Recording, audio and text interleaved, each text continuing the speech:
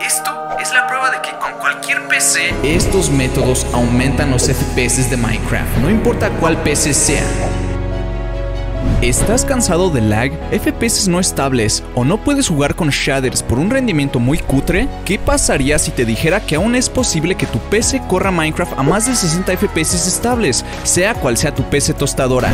No pierdas la esperanza, ya que hoy averiguarás si este video también te ayuda a ti, así como a los muchos Steves guapos que ya les ha aumentado bastante los FPS de Minecraft con shaders, únicamente usando dos de los 10 métodos que verás hoy en este video. Porque con esta optimización vamos a averiguar si aprovechando más los recursos de tu computadora, sea cual sea tu computadora o versión de Minecraft, veremos si tu PC puede correr Minecraft sin lag, con FPS estables o hasta incluso llegar a correr algunos shaders buenos. Le haremos la optimización a tres computadoras de gamas diferentes y veremos las mejoras de FPS en cada una de las PCs más adelante. Yo soy MVM y te enseñaré la gran optimización.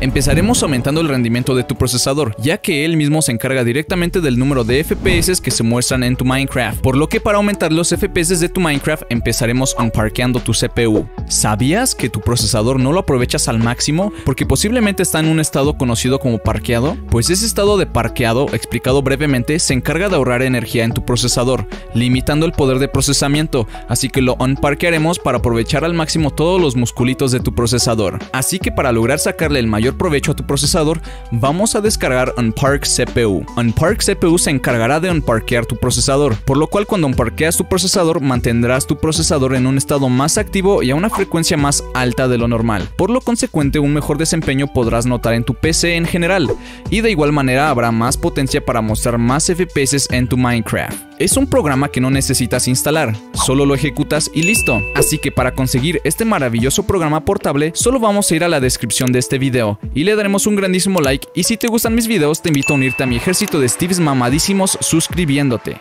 Ahora que ya eres parte de nuestra comunidad, buscaremos el link llamado Unpark CPU en la descripción. Una vez lo hayas encontrado le darás clic y te enviará a la página oficial del software. El programa es totalmente gratis, así que podremos descargarlo fácilmente desde la misma página. Entonces vamos a bajar casi hasta topar fondo y buscaremos estos dos enlaces de descarga. Le daremos clic al más reciente y comenzará inmediatamente la descarga. Una vez ya tengas el archivo zip descargado, lo vamos a descomprimir usando WinRAR y abriremos la carpeta descomprimida de Unpark CPU. Dentro de la carpeta habrá un programa llamado Unpark CPU. Le vamos a dar clic derecho y lo ejecutaremos como administrador. Una vez haya abierto, iremos a la parte que dice System Power Plan. Lo desplegaremos y elegiremos Bitsum Highest Performance. Le daremos clic a as Active y ahora bajaremos a la parte donde dice Core Parking Index y lo arrastraremos a Unparked, que sería el 100%. Le damos clic al botón de Unpark All y a OK.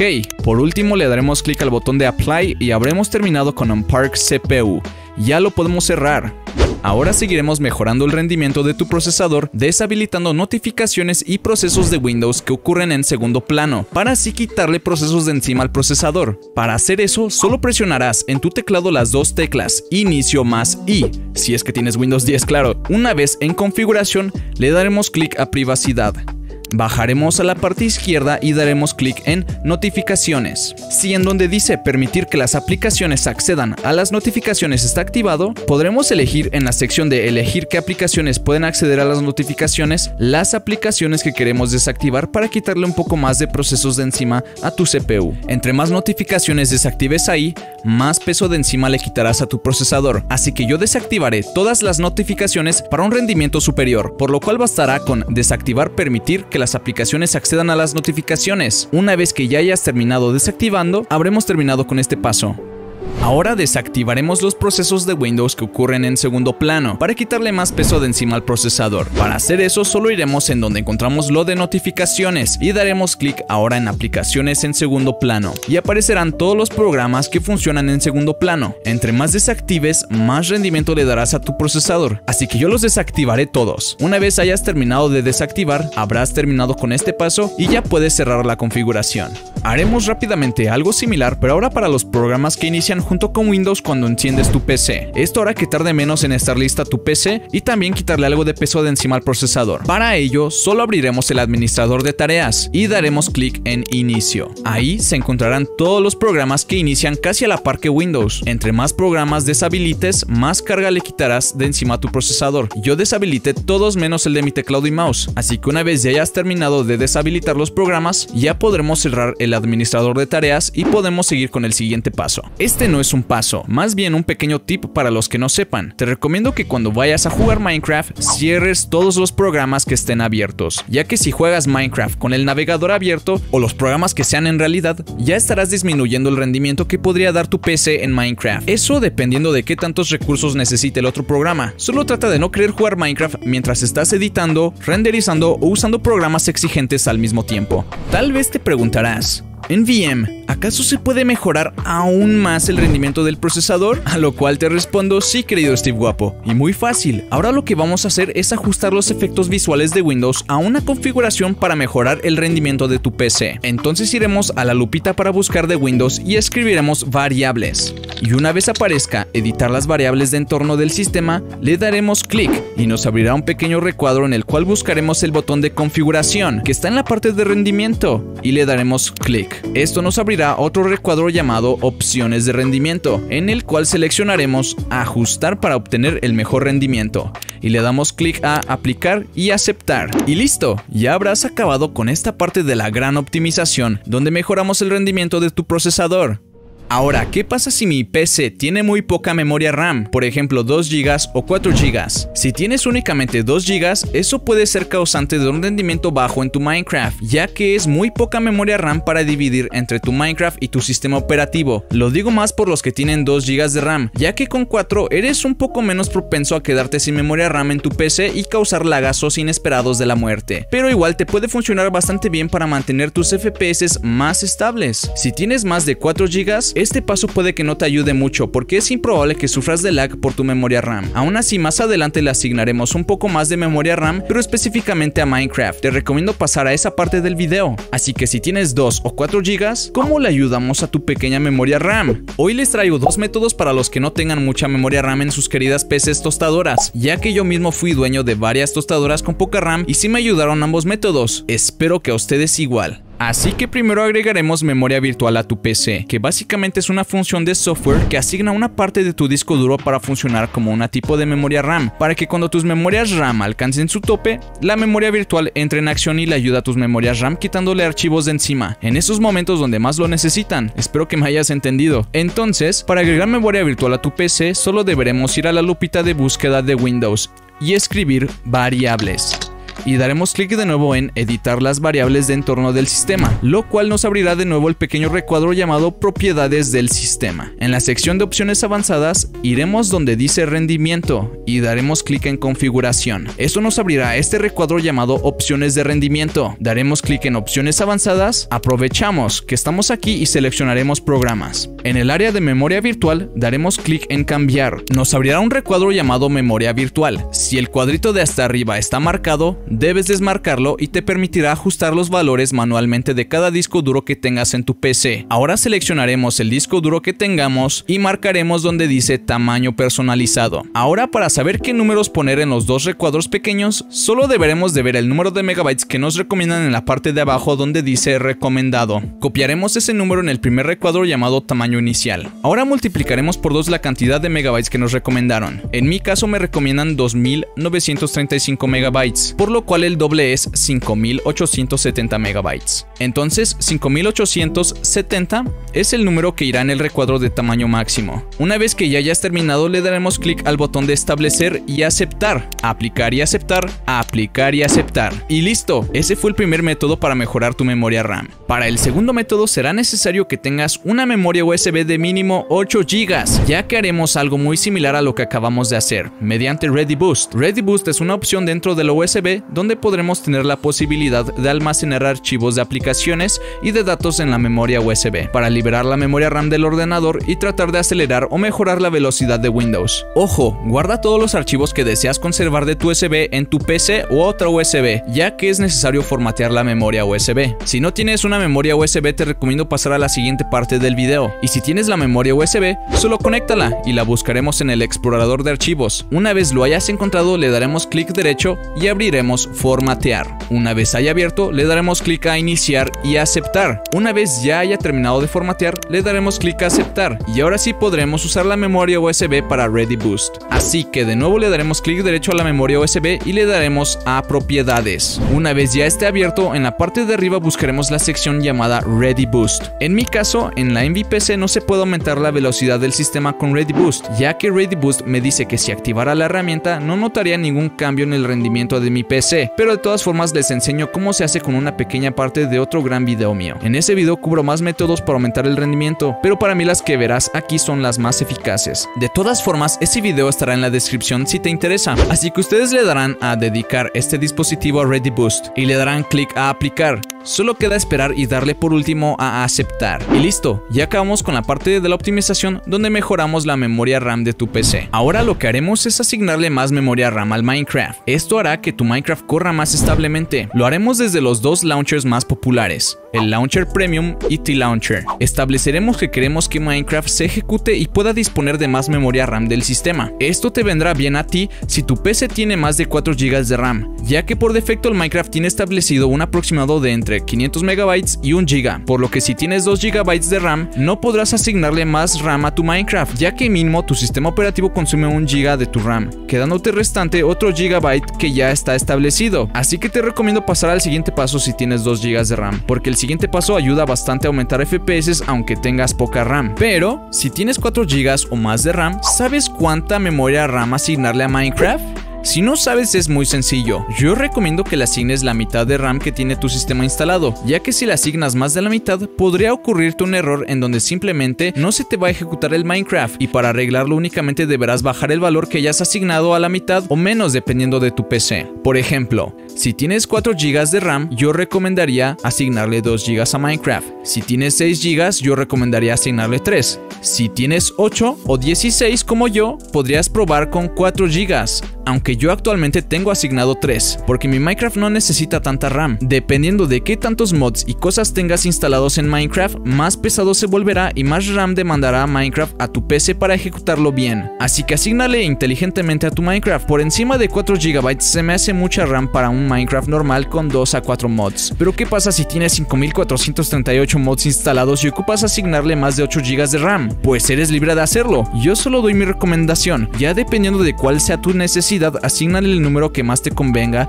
dependiendo de cuánta memoria RAM tienes en tu PC. Recuerda, si te ocurre el error de que no se te ejecuta el Minecraft, solo baja el valor, ya que le estás asignando mucha memoria RAM a tu PC. Si tienes 4 GB o más, empecemos ya, porque este paso es muy fácil hacerlo. Abriremos el Launcher Premium. Si utilizas T-Launcher, salta esa parte del video. Ya que tengamos el launcher abierto, iremos a instalaciones y ahí elegiremos la versión de Minecraft a la cual le queremos asignar más memoria RAM. Yo te recomiendo asignarle más memoria RAM a la instalación en donde tengas mods. En este caso yo elegiré la versión de Minecraft 1.8.9 de Forge, donde tengo instalado mis mods para PvP. Entonces iremos en donde están las tres líneas y daremos clic en Edit. Ahora desplegaremos más opciones y bajaremos. Una vez estemos en JVM Arguments, habrán muchos símbolos y esto, guion XMX y un número, que es la cantidad de RAM que tiene asignado actualmente esa instalación. Si vemos que es poca, solo cambiaremos el número. En este caso para mí es suficiente ponerle 3. Ya dependiendo de ti, como ya expliqué antes, asigna lo que mejor te venga. Y listo. Una vez hayas terminado, le daremos clic a Save y listo. Ya acabamos con el Launcher Premium. Te recomiendo pasar a la parte de prioridad alta para seguir con la gran optimización. Ahora abriremos T-Launcher. Ya que tengamos el T-Launcher abierto, iremos al logo de configuración y le daremos clic en Settings. Ahora en la sección de Minecraft, hasta abajo estará la herramienta donde aumentaremos la memoria RAM deslizando a la derecha o disminuyendo hacia la izquierda. Si no aparece la cantidad de RAM que quieres instalarle a Minecraft, en la descripción de este video encontrarás una especie de lista con el valor de gigas en megabytes. Solo deberás reemplazar el valor que está en el pequeño recuadro con el valor que requieras tú. En este caso le asignaré 3 gigas. Una vez hayas terminado le daremos clic a Save y listo. Ya cuando entremos a Minecraft tendremos más RAM dedicado a nuestro Minecraft. ¿Qué pasaría si le ordenamos a tu computadora que quieres que ahora la mayor parte de los recursos de tu PC, CPU, RAM, internet gráfica, se enfoque mayormente en el rendimiento de Minecraft? Y me preguntarás, MVM, ¿acaso es posible tal hazaña?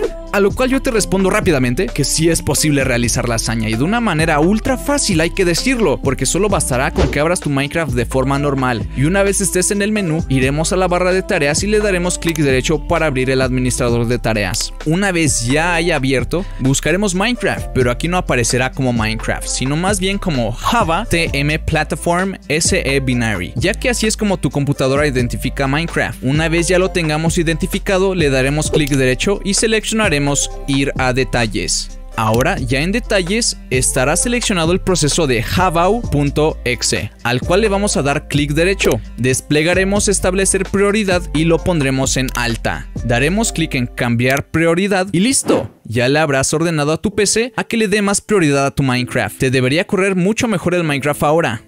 Una nota, este paso lo deberás hacer cada vez que abras el Minecraft. Pero espera, ya que faltan los últimos dos y más importantes métodos para aumentar los FPS en Minecraft con shaders y ya dentro del juego. El primero de ellos es optimizando Minecraft usando el mod Optifine. Pero deberás tener Optifine instalado, ya que Optifine es uno de los mejores mods para mejorar el rendimiento de Minecraft, logrando hacer que el Minecraft sea mucho más ligero para tu PC y aumentar increíblemente el número de tus FPS, aparte de su gran y famosa función de poder instalar shaders para un look mucho más increíble en Minecraft. Oye, MVM, quiero Optifine. ¿Cómo rayos lo consigo? Pues estás de suerte, amigo o amiga, porque esta tarjeta milagrosa contiene el mágico video que te enseñará cómo instalar Optifine junto con cómo instalar shaders muy fácil para ti Launcher o Launcher Premium. Te recomiendo poner pausa en este video y ver ese únicamente si no tienes Optifine o no sabes cómo instalarlo. Te recomiendo extremadamente volver a este video para una explicación más detallada de cómo configurar Optifine y aumentar los FPS en Minecraft con shaders. ¿Ya volviste? ¿Ya tienes Optifine instalado con shaders? Porque si no, en tu Minecraft no estarán las mismas opciones que aparecerán a continuación. Pero si ya tienes Optifine instalado, podemos empezar con la optimización de Minecraft. Una vez que ya tengas el Minecraft con Optifine instalado abierto en el menú, daremos clic en opciones y gráficos. Dentro de opciones de gráficos nos pondremos a optimizar el Minecraft al 100. Todas las PCs son diferentes, por lo cual enseñarles una configuración en específico no se me hace coherente, por lo que pienso que es mejor enseñarte a cómo configurar el Minecraft al mínimo todo, para que puedas ver cuántos FPS en Minecraft alcanzas cuando bajas todo al mínimo de Minecraft, y así poder después ir activando opciones que tú quieras, conforme al rendimiento que vaya dando tu PC y tus gustos, para tener una configuración personalizada de Minecraft perfecta para ti y tu PC. Así que en gráficos lo pondremos en rápidos, esto cambia la apariencia de las nubes, hojas, agua, sombra y bloques con pasto. En iluminación suave lo pondremos en no. Esto desactiva el suavizado de iluminación que hay en los bloques. Suavizado de iluminación lo pondremos en no. Dynamic Lights lo dejaré en detallado. Permite que teniendo una antorcha en la mano puedas iluminar sin necesidad de ponerlo. Renderizado de chunks es la cantidad de bloques que se mostrará alrededor tuyo cuando estés jugando. Si tu tostadora corría al Minecraft a menos de 10 FPS, te recomiendo bajarlo a 2 temporalmente para ver qué desempeño tiene el Minecraft después de optimizarlo. Y si te corre bastante bien, puedes subir el número de chunks ya dependiendo de cuántos FPS quieres. De hecho, recomiendo a todos ponerlo en 2, ya que así verán el número máximo de FPS posibles que puede correr tu PC. Y ya más adelante, si vas sobrado de FPS, subes el número de chunks a tu agrado. En FPS máximos, lo pondremos en sin límite. Únicamente limitará los FPS al número que le indiques. Sombras de entidades lo pondremos en no. Esto desactiva la pequeña sombra que tienen los jugadores, mobs y ítems. Ahora daremos clic en detalles y una vez dentro de configurar detalles, en nubes lo pondremos en no. No creo tener que explicar eso, ¿sí?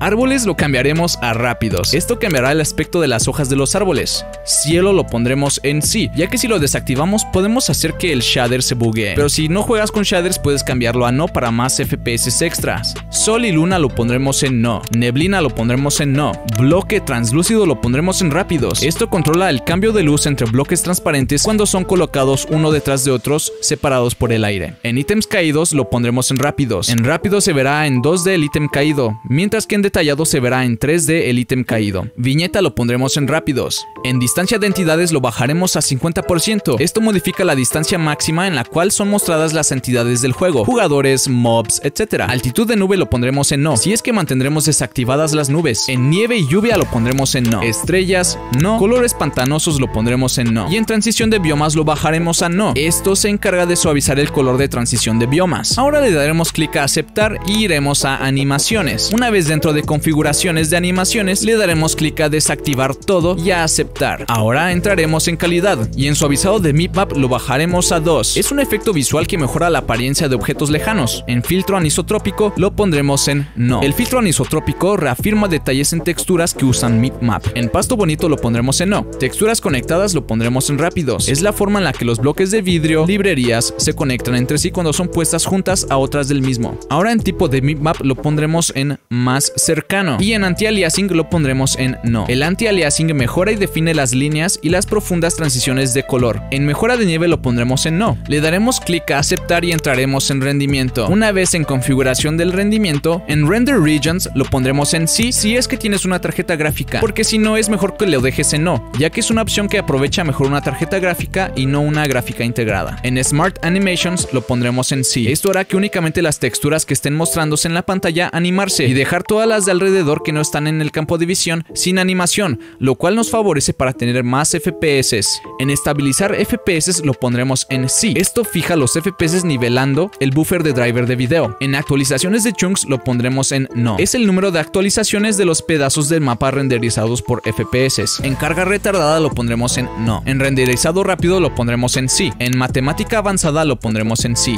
En carga ágil lo pondremos en sí. Esto estabiliza los FPS dividiendo la carga del servidor interno. Y en actualizaciones dinámicas lo pondremos en sí. Esta opción facilita actualizaciones de chunks incluso mientras el jugador no se mueva para cargar el mundo mucho más rápido. Ahora le daremos clic a aceptar y elegiremos por último otro. Dentro de otras configuraciones, en clima lo pondremos en no. Y en resolución de pantalla completa lo pondremos en 1280 x 720 o hasta menos. Y le daremos clic a aceptar y listo. Ya acabamos de optimizar el Minecraft.